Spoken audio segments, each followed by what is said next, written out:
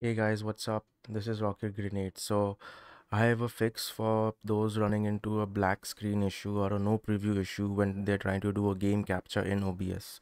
Uh, this fix specifically works for those who are using some kind of in-game overlay. In my case, I use MSI Afterburner. So, if I just launch MSI Afterburner and then if uh, say I launch a game, what typically happens is that um, uh, if I launch the game with MS Afterburner, it will conflict with uh, OBS and I will be unable to get a preview. So over here, I have launched the game. I'll just wait for it to load into the menu. Now you can see if I go into OBS here, I am actually running the game in windowed mode, so I can just show you if uh, you know the solution actually works. So you can see i'm getting a game display here. In some cases you will not even get a game display even on you know a display capture.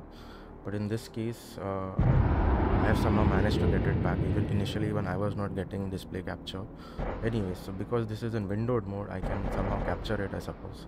The next thing that i did was uh, uh, if i just close over you know msi afterburner okay the, all these problems should be solved. Uh, specifically, the RivaTuner statistics uh, is the piece of software which is causing conf a conflict for OBS.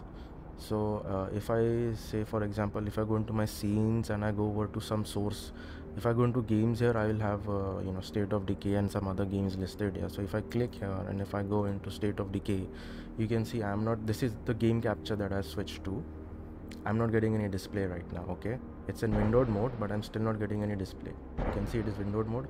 If I switch over to the game game capture I'm not getting any display okay?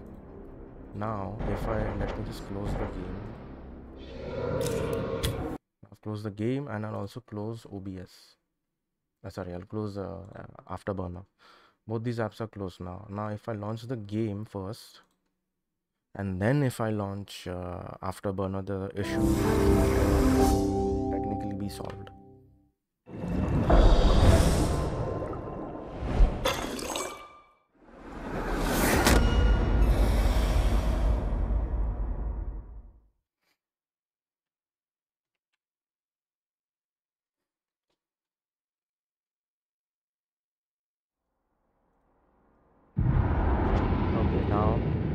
again.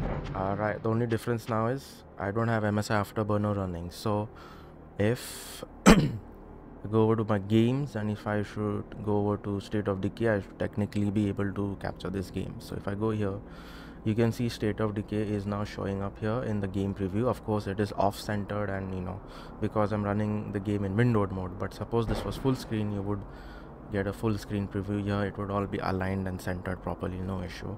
And if it's still not aligned and center you can probably just unlock the game source and you know you can um, move move around the move the source around the canvas. So if i go back to desktop capture now uh, uh, you know that's pretty much it. And if you still still want to run msi afterburner uh, you can do it uh, you only have to do it after you know you launch OBS and the game. You don't launch MSI Afterburner first. You launch it at the very end, and uh, you know I would also suggest you get a, a hotkey for your in-game overlay. You know just in case.